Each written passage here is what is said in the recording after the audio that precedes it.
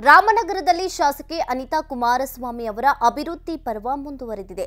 ಮರಳವಾಡಿ ಹೋಬಳಿಯ ಎಲಚವಾಡಿ ಹಾಗೂ ಬನವಾಸಿ ಗ್ರಾಮ ಪಂಚಾಯಿತಿ ವ್ಯಾಪ್ತಿಯಲ್ಲಿ ಮೂಲ ಸೌಕರ್ಯಗಳಿಗೆ ಒತ್ತು ನೀಡಿ ಹಲವು ಅಭಿವೃದ್ಧಿ ಕಾಮಗಾರಿಗಳಿಗೆ ಚಾಲನೆ ನೀಡಿದ ಶಾಸಕಿ ಅನಿತಾ ಕುಮಾರಸ್ವಾಮಿ ಅವರು ದೊಡ್ಡೂರು ಲಿಂಗನಾಪುರ ಭೀಮಸಂದ್ರದೊಡ್ಡಿ, ಶೀತಲವಾಡಿ, ಅರಳಿಮರದೊಡ್ಡಿ ಚಿಕ್ಕ ಬೆಚ್ಚಲಕಟ್ಟೆ ಹಲವಾರು ವಿವಿಧ ಸೇರಿದಂತೆ ಹಳ್ಳಿಗಳಿಗೆ ಡ್ರೈನೇಜ್ ಮತ್ತು ಸಿಸಿ ರಸ್ತೆಯನ್ನ ನಿರ್ಮಾಣವನ್ನ ಮಾಡಿಸಿದ್ದಾರೆ.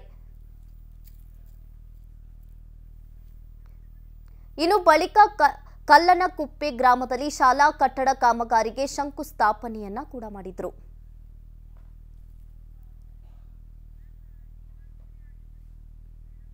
ಪಂಚಾಯಿತಿಯಲ್ಲಿ ಹಲವಾರು ಕಡೆ ಗುದ್ಲಿ ಪೂಜೆನ ಮಾಡಿದ್ದೇನೆ. ಕೆಲವು ಕಡೆ ರಸ್ತೆದು ಕೆಲವು ಕಡೆ ಚರಂಡಿದು ಕಾಮಗಾರಿ ಇರ್ಬೋದು.